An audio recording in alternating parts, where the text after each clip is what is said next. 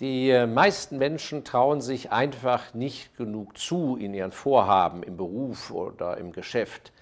Dabei übersehen sie eine Sache, nämlich dass die meisten Menschen oder die meisten Firmen drei wichtige Sachen bewältigen müssen, dass sie aber von den drei wichtigen Sachen nur in einer Sache wirklich sehr gut sind.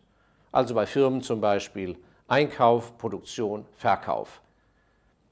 Ich kenne kaum Firmen, die auf allen drei Gebieten einfach Weltmeister sind. Und die Chance für Geschäftsleute oder für junge Leute liegt darin zu erkennen, wo ist diese Firma top, auf welchem Gebiet sind die erstklassig, da brauche ich mich gar nicht hinzugehen, äh.